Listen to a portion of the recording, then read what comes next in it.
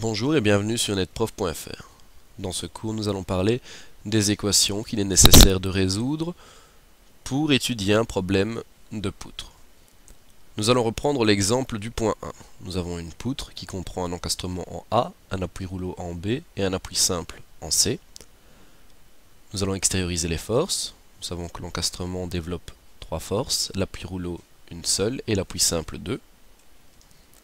Pour étudier le problème, il faut résoudre les équations de translation par rapport à x par rapport à y et l'équation de rotation par rapport à z.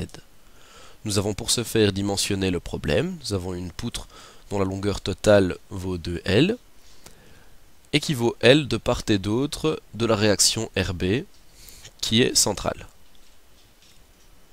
Nous allons dans un premier temps étudier l'équation de translation par rapport à x. Elle va comprendre les réactions RAX et RCX. Nous avons la somme des réactions égale à 0, RAX plus RCX est donc égale à 0. L'équation de translation par rapport à Y, elle implique les réactions RAY, RB, RCY.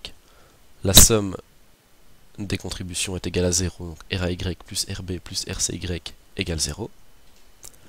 L'équation de rotation par rapport à Z, donc MA ne sera pas le seul à développer un moment, les autres forces également. Nous le déterminerons via la règle du bras de levier. Nous allons expliquer cette règle. Soit une force verticale R située à une distance L d'un point A choisi comme référence, où le moment est nul. Le moment développé par R vu en A vaut la force fois la distance. Donc ici, le moment sera égal à R fois L. Si la force et le point de référence sont dans le même plan, aucun moment n'est développé. Donc ici, euh, R fois L, donc ça n'existe pas, c'est égal à 0.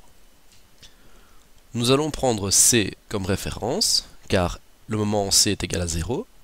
Les forces RCX, RAX et RCY ne produiront pas de moment, car elles sont dans le même plan que le point C. Nous avons les autres, les autres réactions vont contribuer à la formulation de l'équation, donc RAY, RB et MA.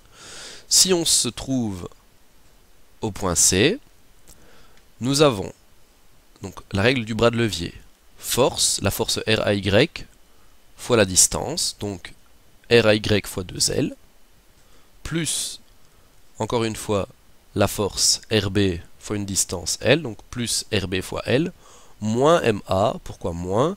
Car elle tourne dans un autre sens. Il faut imaginer comme si on avait une punaise placée au point C, auquel on aurait relié un fil.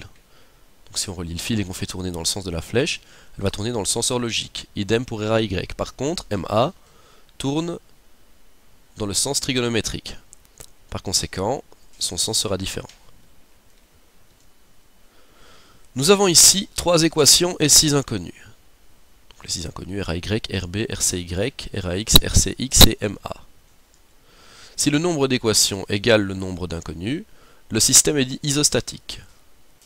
Si le nombre d'équations est plus petit que le nombre d'inconnus, le système est dit hyperstatique. Il demandera des calculs supplémentaires. La difficulté de l'exercice sera d'autant plus élevée que le nombre d'inconnus par rapport au nombre d'équations augmente.